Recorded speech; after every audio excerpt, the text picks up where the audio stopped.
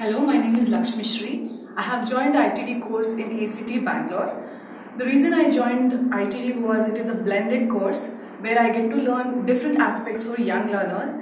The teachers here are very encouraging and very friendly. I'm really glad that I chose ACT.